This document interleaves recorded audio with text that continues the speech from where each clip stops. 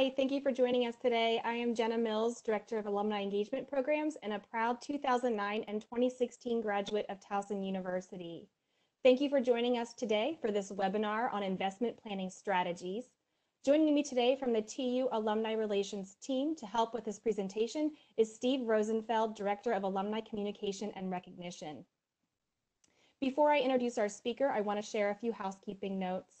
This session is being recorded and it will be shared with all event registrations once it is finalized. Attendees will remain muted for the entire webinar. If you have any questions, please use the chat function in your window and direct your questions to all attendees. Frank Sneeringer, TU Director of Major Gifts for the College of Business and Economics, will be helping with the question and answers today. Frank will be monitoring the questions throughout the session, and we will also hold a question and answer session at the end of the webinar. I'd now like to introduce our speaker, Jason Edelson. Jason is a 1999 TU grad.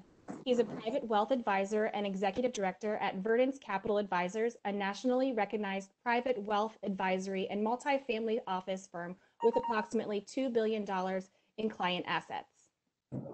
He is responsible for providing oversight and specialized support services for clients' investment and planning needs. He previously worked for Wells Fargo for 12 years and is a multiple time recipient of the Concord Elite Award, which recognizes the top producing and service advisors nationwide. Jason, thank you so much for joining us today. Thanks, Jenna. Happy to be here. So welcome everybody and thanks for attending the, uh, the webinar today. Um, we're going to cover a, a, wide variety of topics today. Uh, you know, first and foremost, we're going to talk about uh, investing during a pandemic, uh, since that seems to be the, the hot topic on everybody's minds lately.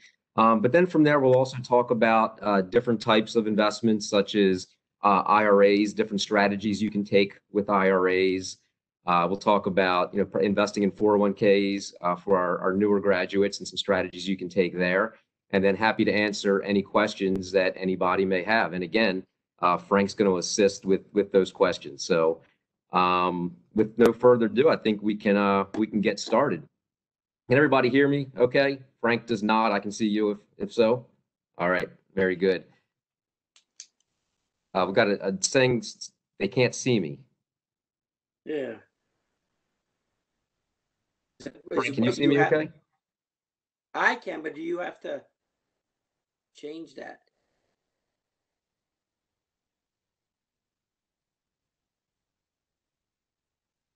Okay. They can see me. All right. We'll just I get started. you look good.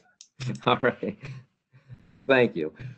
All right. So, um, one of the most, let's start with the pandemic. And really, one of the most important things to remember at a time like this is things are going to change. And that's kind of, of that's going to be a theme of what I talk about today Uh, and that's really the rate of change. And we have to look at the rate of change and why that's important. And what the what is the rate of change in the economy? Right? What is the rate of change in science? What is the rate of change in, in the political environment?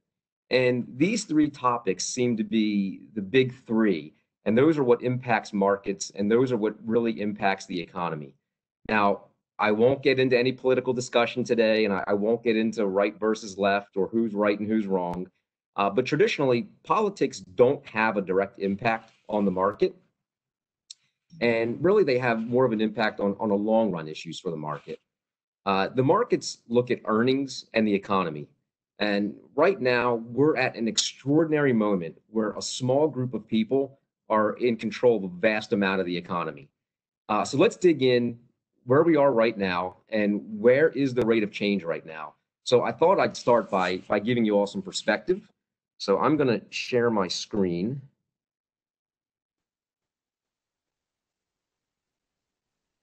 Okay. Hopefully everybody can see the chart that I have up right now on the screen. Um, and what everybody fears is is what you see here. Uh, Give it a second, Jason. The, the screen actually has not popped up yet. It is not. Okay.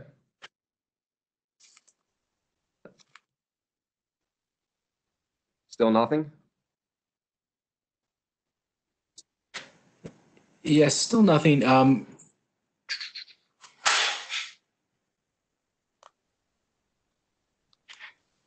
so try to share it one more time. Okay. There you go.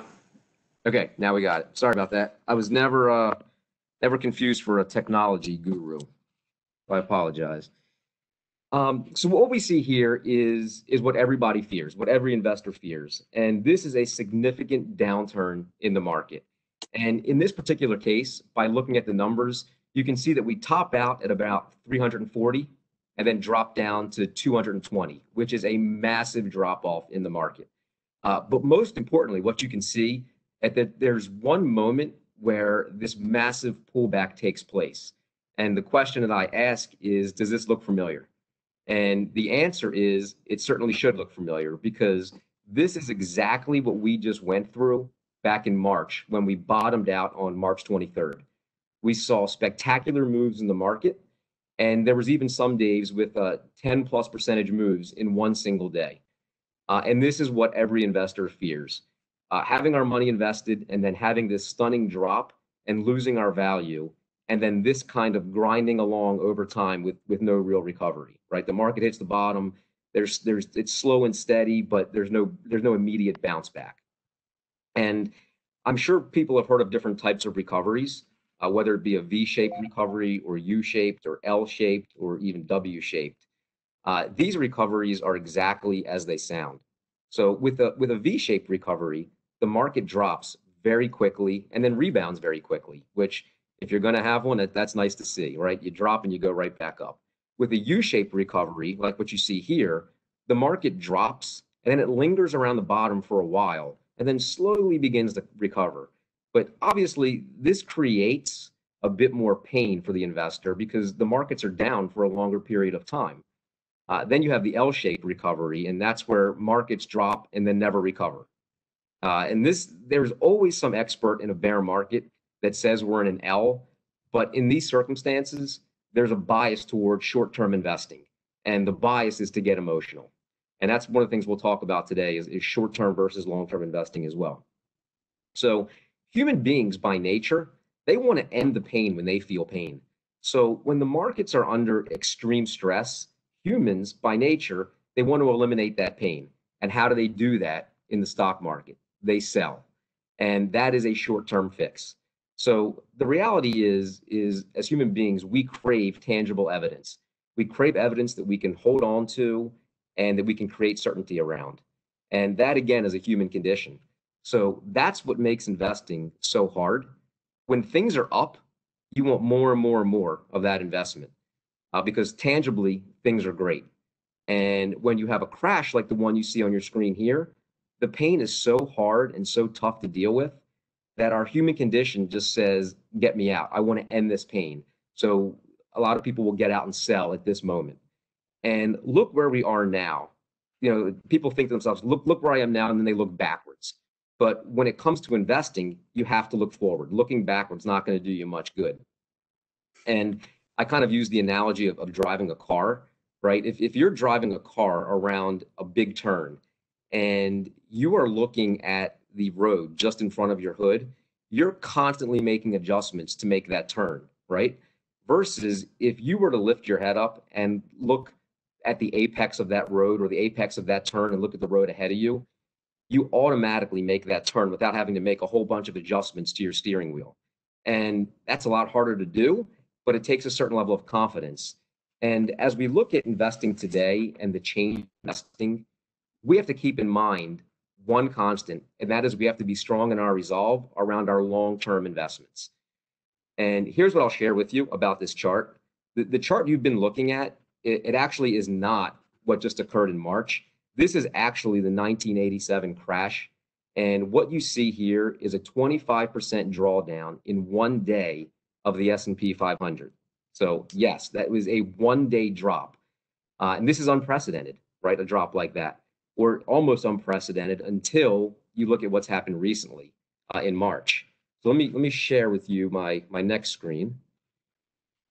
And what you're seeing here, another chart, still the S&P 500. Uh, but if you look at the circle on the far left of that screen, that is the previous chart that we just looked at in the context of time. Okay. So as you can see, the U shape that we saw on that short term chart suddenly looks like it's not that big of a deal.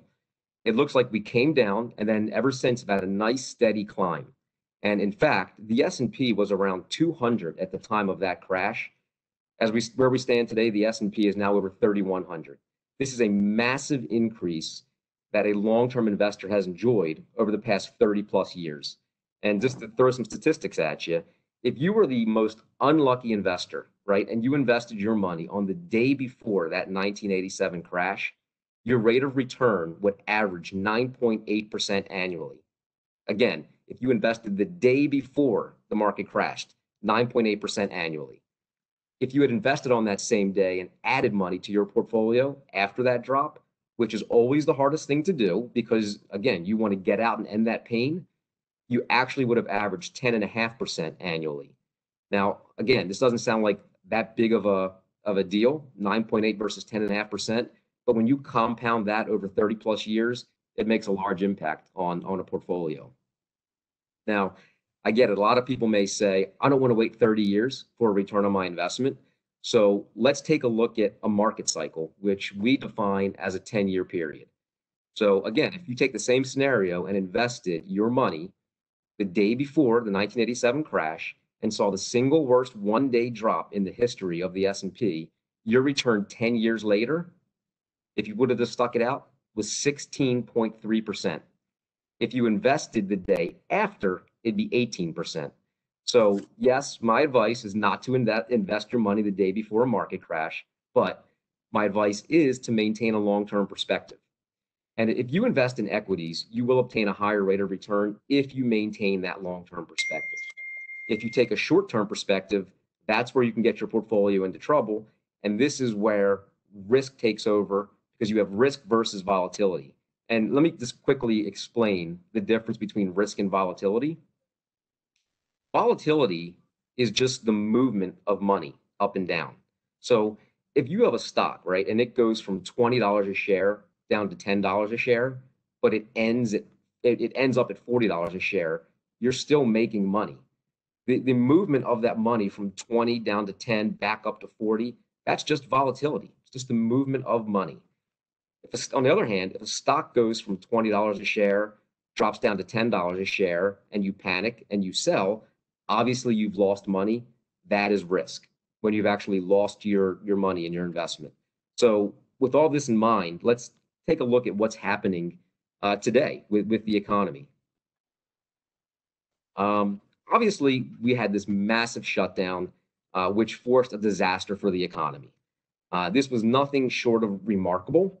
Uh, and regardless of how you feel about should we have kept things open or should we continue to keep things closed or slowly reopen, what we do know is we need to protect those that are most vulnerable. We need to protect those with pre-existing conditions. We need to protect the elderly. So that's one thing that we do know for certain. What we also know is that we're we're in an unsustainable situation. We, we couldn't continue to go on with the economy completely closed down. So the, the question is not if we reopen, but more so how we reopen everything. And obviously, we're starting to see that happen. Uh, so the chart you're looking at on the left goes all the way back to April 1st. And again, keep in mind the market bottomed on March 23rd. Uh, I can tell you that that's when there was the least amount of hope, March 23rd. We didn't know how long the economy would be shut down for. You know, you heard it could be shut down for six months, possibly 12 months. Again, we just didn't know. It was all just hearsay. There simply just wasn't enough information and data to, to, to go off of. Furthermore, the models that, that we were seeing, they were showing deaths that were going to be in the millions in this country.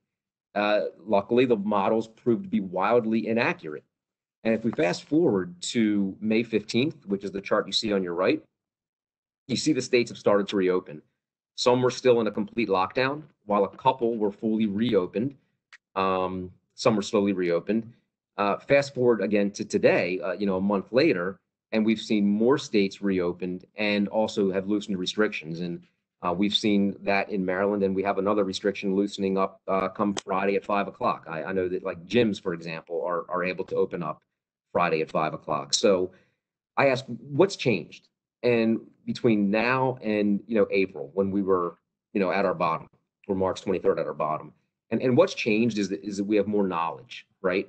Back in early March, people were saying, it's fine, you know, come on out, continue to go to restaurants. It's okay to shake hands. You don't need to wear a mask. There was no social distancing guidelines in place. But today, people are much more respectful and we do have these guidelines in place. And I get it. Not everybody is going to be as respectful as the next person. That's just what happens and it's human nature. However, what we do know is that people now understand what they're dealing with. And we should not see the same level of cases increasing now.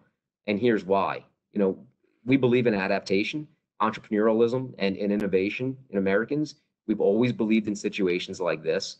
And we take it on, we make the necessary adaptations, we find a way, and we're doing that now, right? So we've put plans in place, we've adapted, and we've we've seen a decrease in cases. And I know that there's some states out there right now, such as Florida and Texas and California, where cases have began to rise again.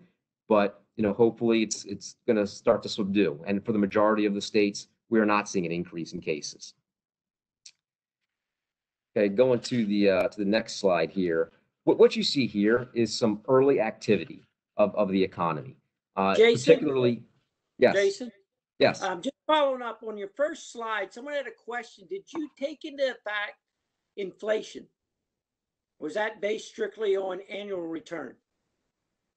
This this is strictly based on annual return. Okay, I just wanted to make sure so we didn't get past that slide too far. Thank you. Sure. Nope. Thanks. Thanks for asking. No, this is this is just year over year return, not not accounting for inflation. Um, thanks, Frank. And please interrupt with any any more questions.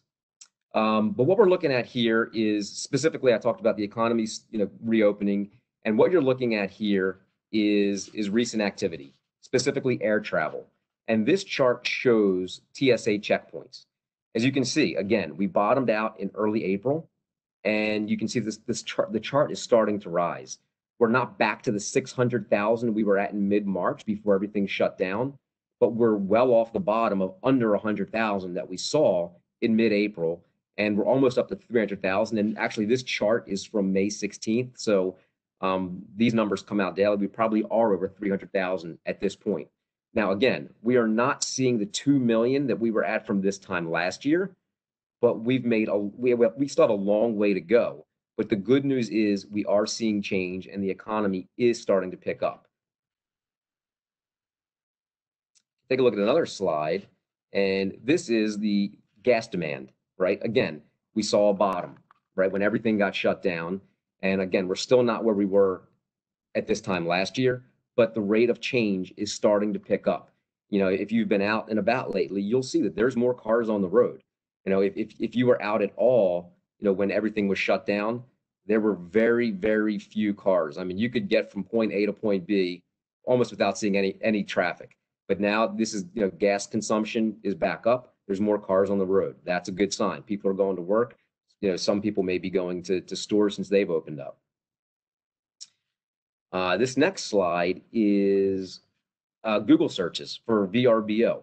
Now, the, the early stage of a recovery for people going on vacation obviously starts with them searching for where they want to go and where they're going to stay. And you can see again, that collapsed. That has now started to come back somewhat quickly. And one of the big questions was will people go out when they're allowed? And as you can see, yes, they will. And those numbers are starting to increase. So, again, another positive for the economy. Uh, this next slide shows cons- consumer confidence, and as you can see, consumer confidence took a massive drop.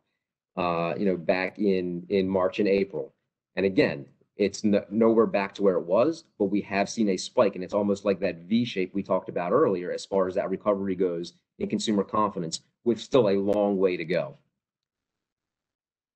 And then, lastly, this is the last slide I'm, I'm going to share with you. But what this slide shows you, and I'm not going to go through it year by year, but this shows every single event every event driven bear market and how the S&P has responded 12 months later.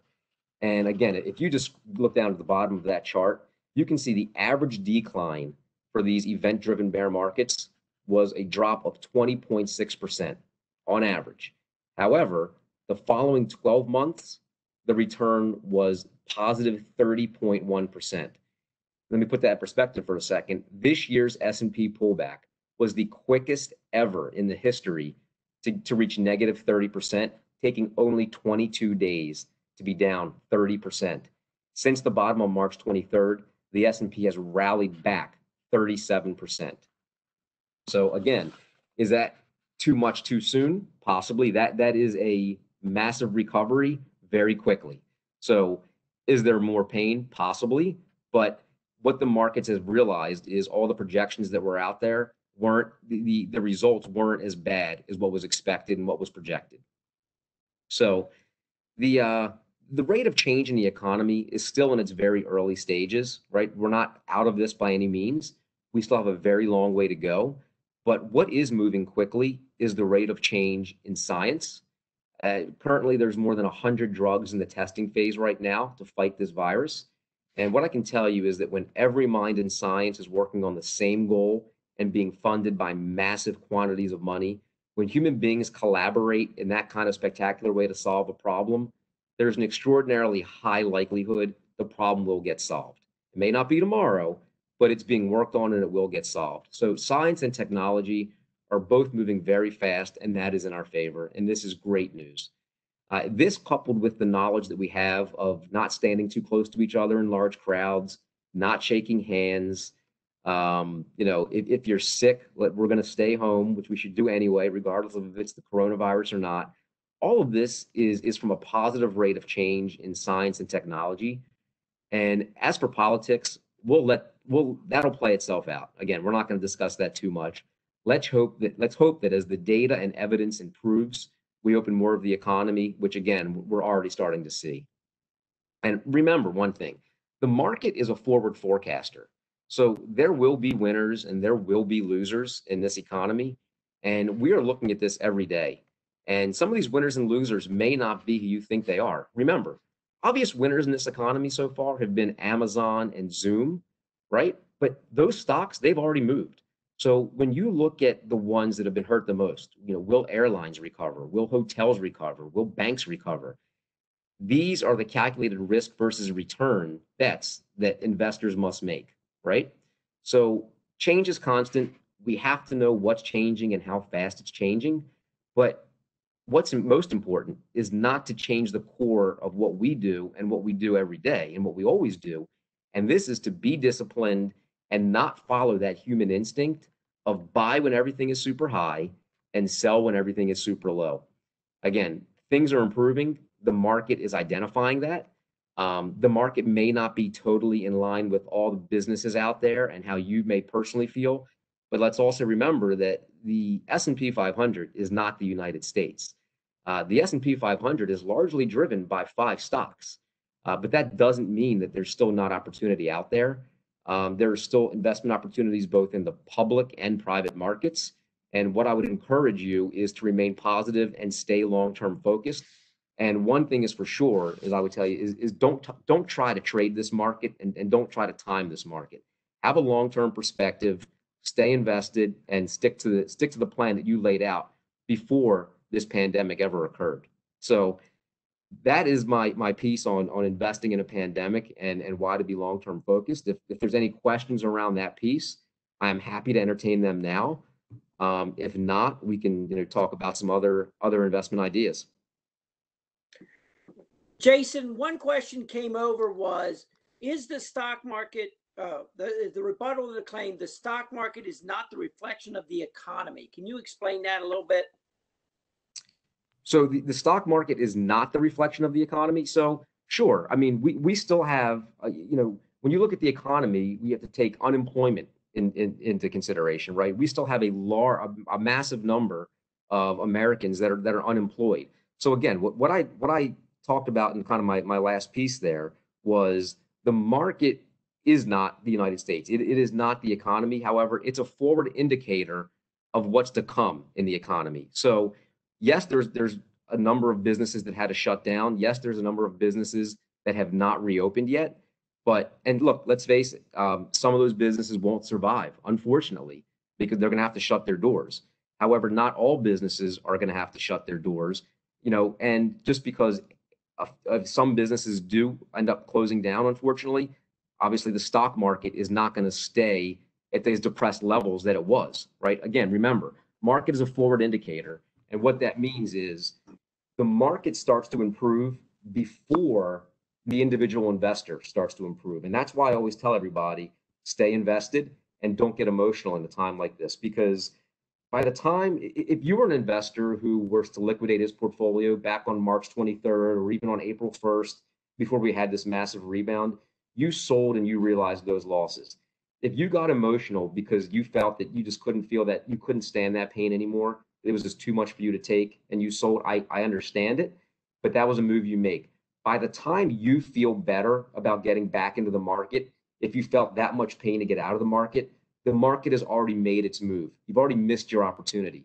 So even though the economy may not be back on solid footing where it was, you know, back in January and February when consumer confidence was high, when unemployment was around, you know, three and a half percent, the market is going to react to to the the upswing of the economy before the actual economy gets there.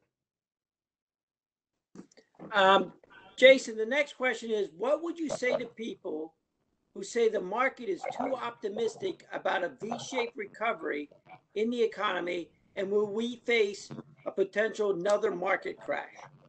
Uh, so yes, I, I do think that we probably bounced back too fast too soon.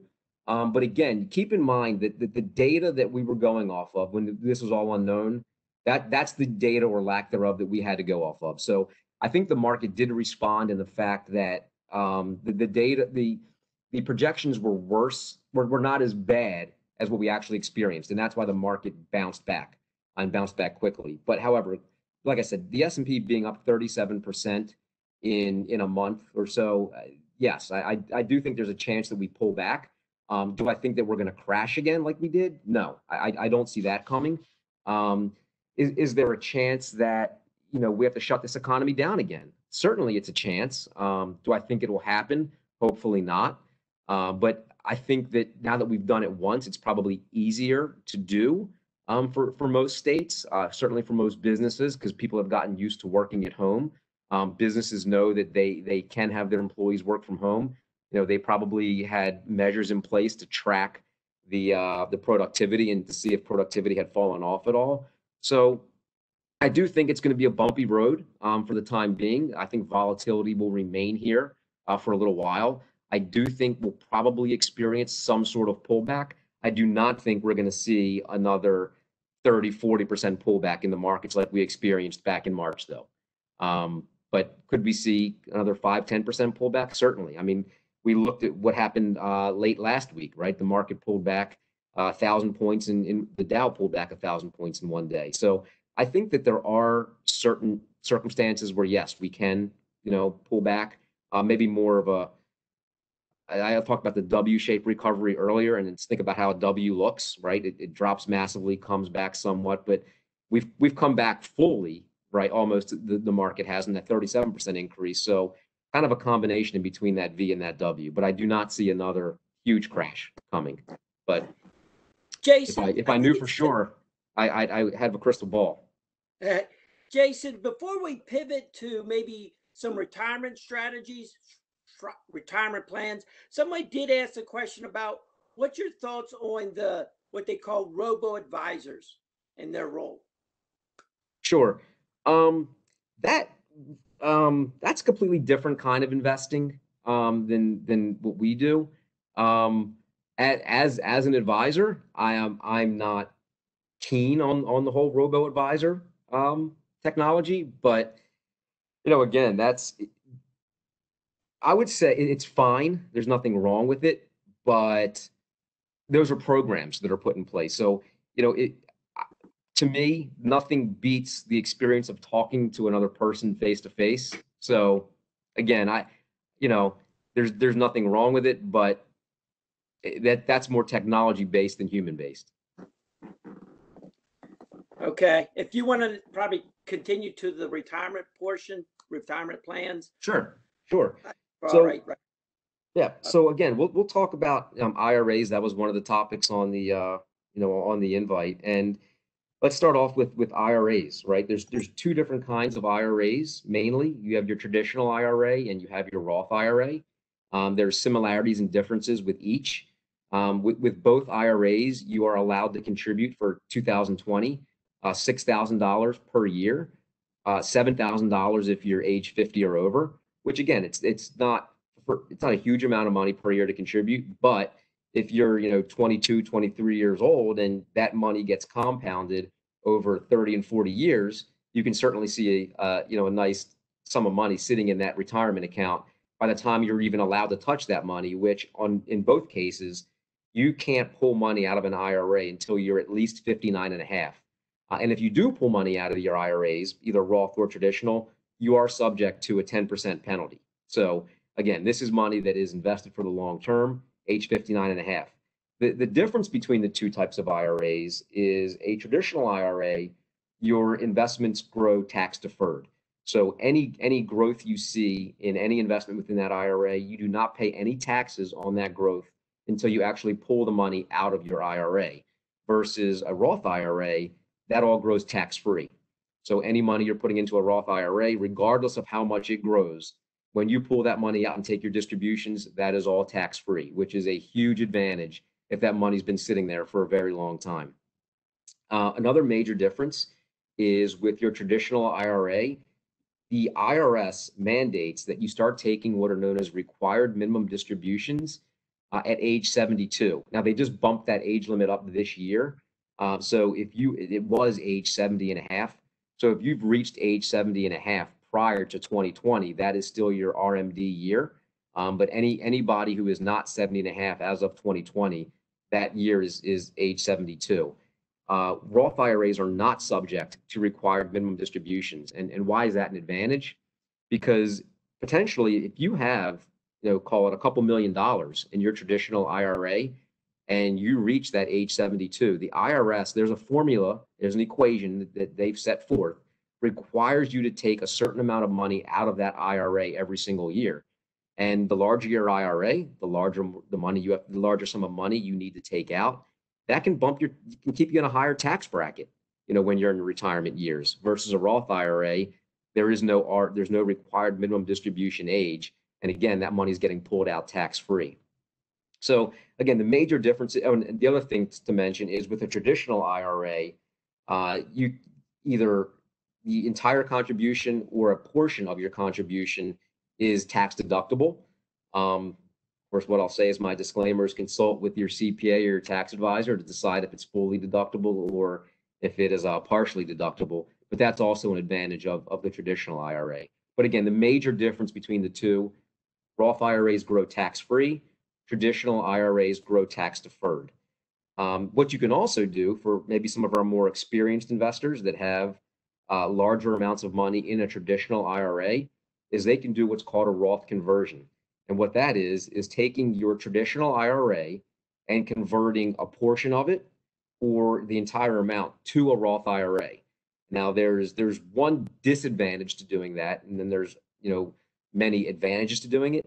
The one disadvantage is the year that you make that conversion from your traditional IRA to your Roth IRA is that the, amount that you convert in that year, be it, you know, let's fifty thousand dollars. Say you have a million dollar traditional IRA, you convert fifty thousand. Uh, that fifty thousand uh, is taxed at your ordinary income tax level today, right? So you have those taxes are due in the year you make that conversion. So again, whatever the amount is you convert, whether it's partial or the full thing, the amount you convert is taxable at ordinary income levels today. So again, you'll want to have you know some discretionary income laying around or savings laying around because obviously you're going to owe a nice sum of taxes on that money that you converted. Uh, the Jason? advantages though are enormous. Uh, depending Jason? on yes, Um, two questions coming up with the Roth IRA. Sure. One was, so the Roth IRAs are taxed up front, but with No. government national debt looming. No, wait, that, Frank, hang on. They're not. Okay. They're not taxed up front. You're contributing after tax dollars, so so money you've already paid taxes on to that Roth IRA, and then it's growing tax free. Okay, but the, the question, if I get to the end, will say, but with national debt looming, social security fund shortfalls starting in twenty thirty-four, is it possible the US government could decide to tax you again? Could they change the law? Is that a possibility that tax you twice? I mean, is that, is that law? I mean, I'm, he says it sounds political, but he just, a question is, I guess any law can be made? I, I, Frank, I will say that anything is possible. I never would have thought it was possible that the United States could basically shut down, right? And we did that. So, is it possible? Probably. Do, do I know for a fact? I that that I just I don't know for sure. But I would say that anything is possible. Okay, one Right. follow-up to this.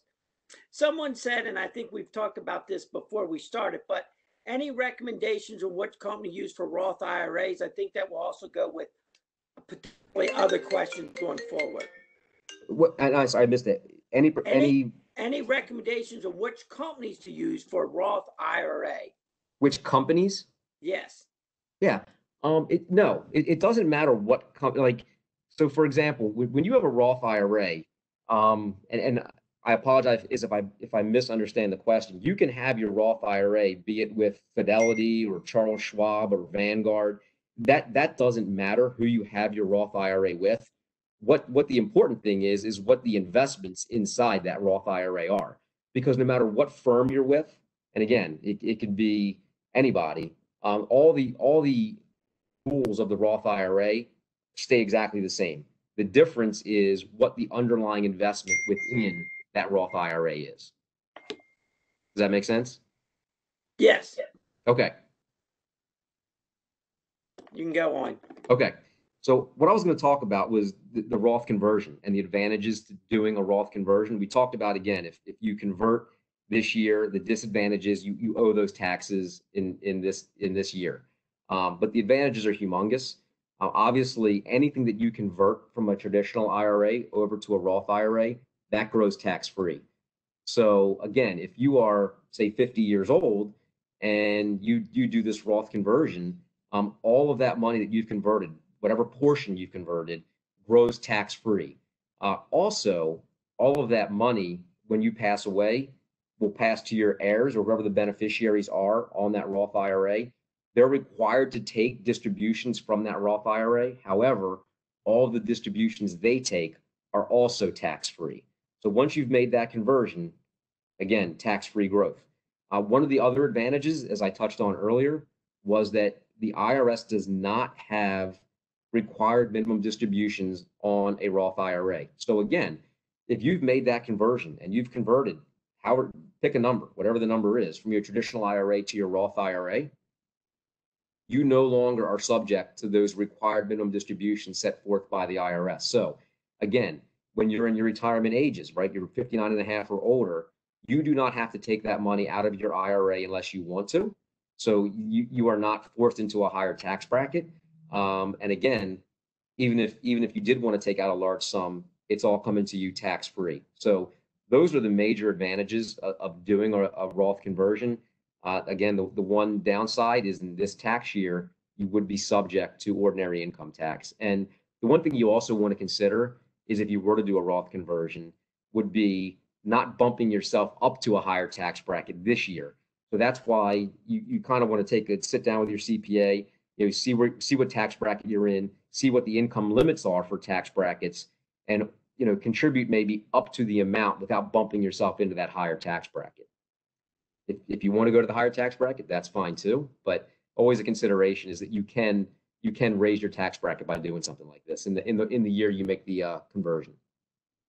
So, um, that's again the, the conversion is more for probably our seasoned investors. Um, some ideas for some of our younger investors or, or recent graduates, um, what to take advantage of. I would say one of the main things you want to take advantage of when you start investing or when you first come out of school and you have that first job is, if possible, contribute to your company's 401k plan. Uh, a 401k works very similar uh, to you, to the IRA. Is that you're putting pre-tax dollars into that 401k, and none of the growth in that 401k is taxed until you start to pull money out, which again is no earlier than age 59 and a half. It is a retirement plan. That's what the money set aside for, and that's the intended use of that plan. Um, and again, you're allowed to contribute $19,000 to a 401k in, in 2020. And I know that, again, when you're first coming out of school, maybe there's student loans you have to pay off, maybe you're saving for a house. So maybe you're not going to contribute the full $19,000 every year to your to your 401k. what I would recommend highly, if possible, is to contribute at least the maximum amount that your employer will match, right? So what does that mean? Your, your employer is going to have a company plan set up in place. There's going to be rules around that plan. And one of the, the rules written into the plan, and they're all different, might be that the company will match dollar for dollar. So they'll match 100% of the first 5% that you contribute, right? So let's just say that you're contributing, you know, 5% of your salary to your 401k. Your company is going to match that same 5%. That's free money, right? So if you can afford to do that, I would highly recommend doing that. And again, if you're 22, 23 years old coming out of coming out of college and you can't touch this money till you're age 59 and a half, that's over 30 years of growth in that 401k. There's going to be a nice nest egg sitting there by the time by the time you retire. Uh, and the good thing about 401ks also, let's face it, we all don't stay at the same job our entire career. Uh, you have the option of moving that 401k to your new employer and investing in their plan, uh, or you can take the 401k that's in your your old employer and roll that over into an IRA, a traditional IRA. Uh, the good news there is that that is a non-taxable event um, because you're going from a qualified plan to another qualified plan. So a huge advantage for for individuals who are just starting out. Uh, a good way to save money. Uh, you kind of put it on a systematic investment plan, meaning that the money just automatically comes out of your paycheck, goes into your 401k, and then it's almost kind of that set it and forget it mentality. Although what I would say is you want to continue to monitor the 401k. You want to rebalance your 401k um, to make sure that you're keeping up with the, the proper allocations. But again, it's it's a good way to when you're coming out of school to start saving some money for retirement and get you know free money, quote unquote, from your employer if they have if they do have a match. Jason, before you move on, um, there's a question back to the IRA Roth conversion. Sure. Is there a penalty in that conversion? Is there a penalty similar to what they do when you take money out of your 401k? If you Sure. convert a Roth IRA, is that what is, what is the penalty? Okay. Or you just There- pay the taxes? Right. There, there is no penalty to do the conversion. You just pay the taxes. However, okay, if you are under 59 and a half years old and you do the conversion and you take money out of the IRA to pay the taxes, you are subject to the 10% early withdrawal penalty. So that that's why I kind of said earlier, if you have excess cash in a non-qualified account. And again, a non-qualified account is something is is this your traditional could be your checking account, money market account, your brokerage accounts that are not, that are not retirement accounts. Then then it's a good idea to do it. But if you have to basically borrow the money from yourself or from your IRA to pay those taxes, you will be subject to that 10% penalty, early withdrawal penalty. Okay, But if, second, second question here comes in. How do I get started with investing? I have a Fidelity account and I'm interested in passive income just to start from somewhere. Yeah. Um, you know, with, with Fidelity, uh, you're probably, this is probably a self-managed account, meaning that the, the individual asking the question is probably investing the money on their own.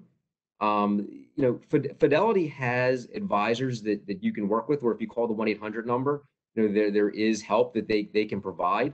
The best way to get started is, is exactly, you know, what this person mentioned is they, they open up an account with Fidelity.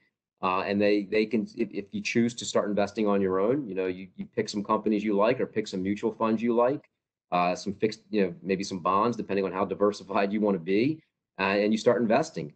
Um, one thing that, that's a that's great discipline is instead of instead of having to write the check every single month, is to get yourself on that systematic investment plan, like I talked about with your 401k, where every month, you know, say $100 or $200 or whatever that number is, just automatically comes out of your checking account and goes right into your Fidelity brokerage account, right? And that way, that money's coming out every single month. And you can always change what that systematic investment is, whether you want to increase it or decrease it. But that's a good way to get started in the market because it's almost it's a forced savings, right? That that's money that you're not going to be spending because you know it's going to come out of your account, eh, out of your checking account, and going into your Fidelity brokerage account, for example. Okay. Follow up, you're using terms of, of a 401k and a 403b. Can you tell me the difference and the similarities between both those accounts? Sure. Uh, they are essentially the same thing. Uh, a 401k is most of the times for profit corporations have a 401k. Uh, a lot of times a 403b, you'll see that in um, in schools, right? Or um, you know, in, in, governments, they also have the, the thrift savings plan is, referred to as a TSP. Uh, so essentially, the 401k and the 403b they act the same. It's just the tax code that they are are um, qualified under. Um, but again, 403b it acts just like a 401k. You have the same contribution limits as you do with a 401k. It's just a tax code. Um, and again, you can't pull money out of your 403b until you're 59 and a half. Um, so all the same rules and regulations basically apply as they do with with a 401k. Okay. Yeah, you'll see 403bs most of the, like I said, most of the time teachers will have a uh, a 403b. Okay. That's the most common. All right. Yep. I, I, you can continue on the next. Okay. Um, you know that that pretty much wraps up everything that I you know wanted to talk about. I mean, one of the things I know that, that Jenna had listed on the topic was different types of investments. So I can you know briefly go over that again without getting into any specific recommendations. There's a number of different types of investments. Obviously, you have your stocks, you have your bonds, you have your mutual funds, um, and for our you know our newer investors, um, a mutual fund is basically a collection of stocks um, managed by by one manager, and a lot of times um, there's going to be a certain investment objective with that mutual fund. So maybe it's a large cap growth U.S. growth fund. What that mean what that means is the market capitalization of the companies that that, that are inside that mutual fund are of a certain dollar amount and they focus mainly on US large cap, or maybe it's going to be an international fund where the majority of the companies within that fund are overseas.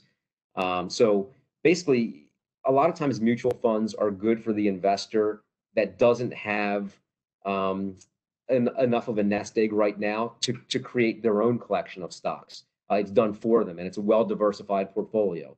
And the reason it gets tricky when, you know, with, with a little bit of money with someone just starting out is let's just say you buy, let's take Amazon, for example. And again, this is not a recommendation to buy or sell Amazon, but if you buy Amazon and Amazon is the only stock you own, right? Amazon's been on a terrific tear lately and it's continued to rise and rise and rise.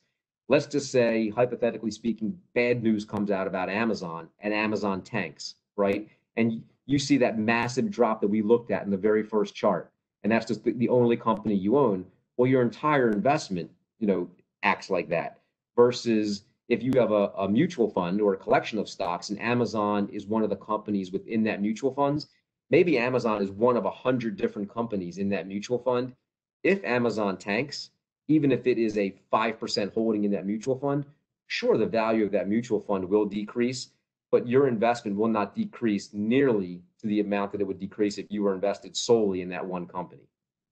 So um, you know, there's stocks, bonds, mutual funds. There's again, not to get too much um, into into the weeds here, but alternative investments. Um, and again, this is for the more experienced investors um, with with higher amounts of money. Um, there, there's private equity investments that you can get into, and again, this is money that's going to be locked up for a much longer period of time. This this is this is not money you want to kind of get into the get into the investment and get out of quickly. Much longer term holds.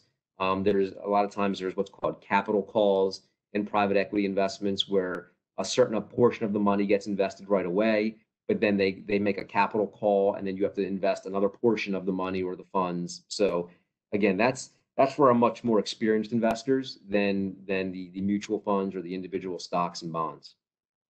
So uh, one thing I'll say is always very important to consider when investing is your risk tolerance, right? And that that means how aggressive or how conservative do you want to be with your portfolio? And look, everybody wants to be a, everybody wants to be an aggressive investor when when the markets are doing well, right? Everybody wants to be in in the in the growth stocks and, and be aggressive because you know ultimately when you have higher risk, there's hopefully higher reward. And when the markets are doing well, everybody's everybody's happy.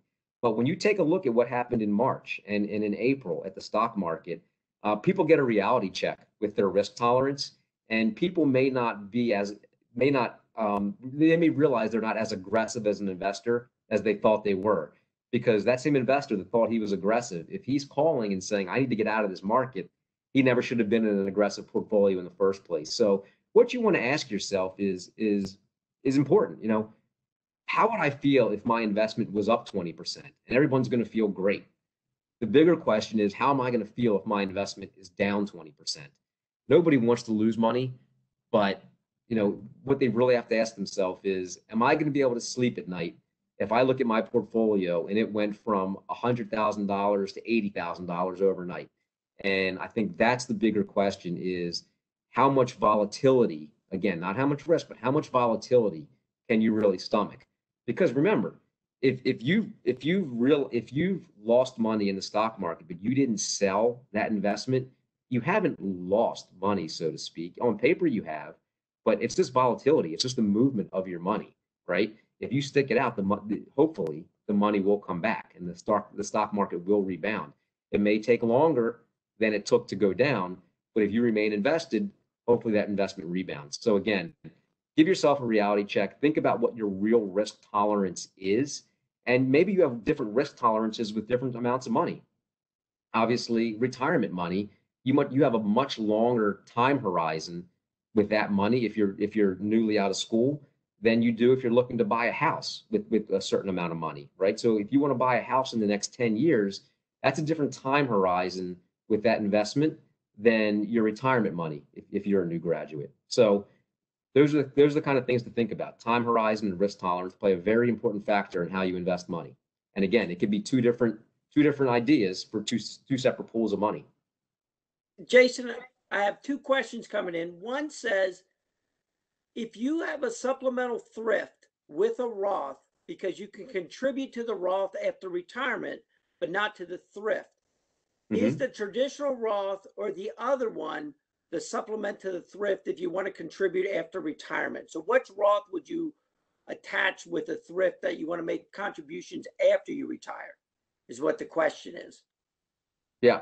So um, I have to check the, I, I can actually do that right now while we're talking.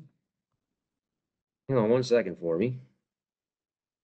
I apologize for the break here, but um, so let, let me ask this question. If, we're assuming we're in retirement, so there's no no earned income.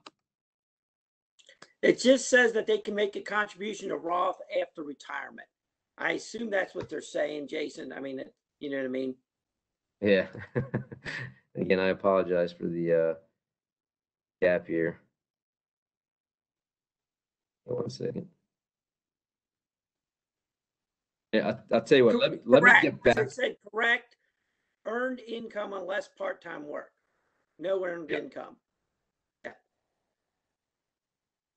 Yeah. So let, let me ask. You, so again, it, depending on on age, also, if if you are 70 and a half or older, you cannot make regular contributions to a to a traditional IRA. So again, this is going to be age dependent.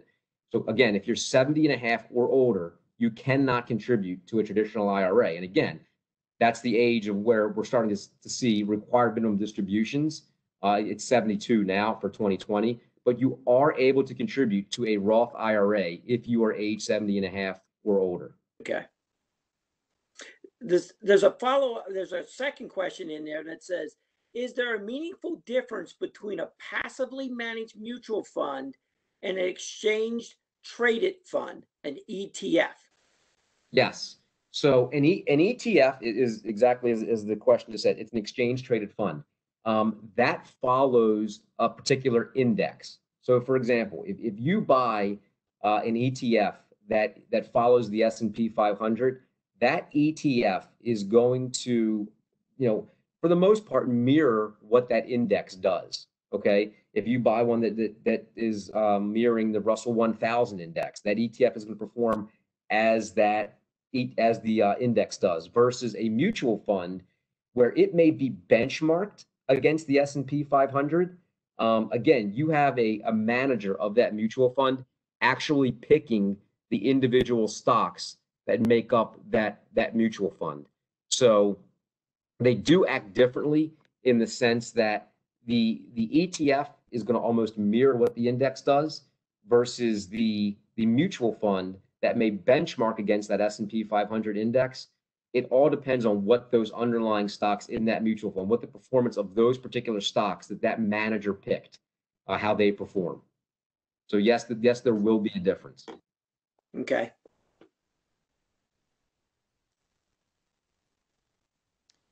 Thank you, Frank, for your help with that. The only other question that I saw come through that I don't think was answered, I apologize if you already did, but um, do you have to pay taxes or a penalty on the money you roll over from a 401k to a Roth IRA?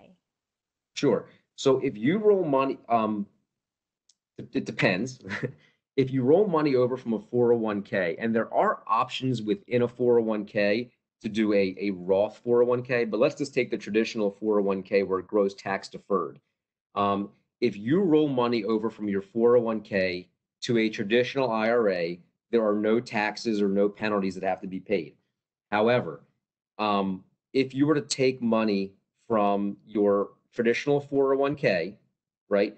First, you'd want to move it to that traditional IRA. So there's no taxes, no penalties. But if you then converted that money to a Roth IRA, the same rule would apply as the Roth conversions, where you would have to pay the taxes on the amount you converted from that traditional IRA, which was ultimately your original 401k, to the Roth IRA.